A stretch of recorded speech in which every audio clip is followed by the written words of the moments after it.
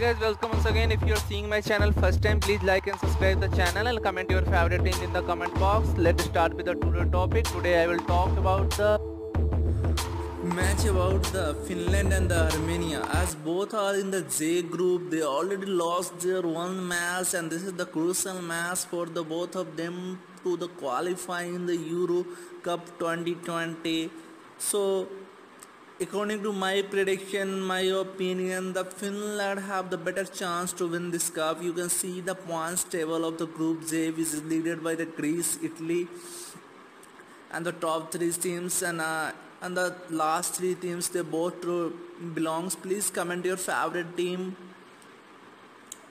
and say what you don't like the video and what you like in the video. Please like and subscribe the channel. Thanks for watching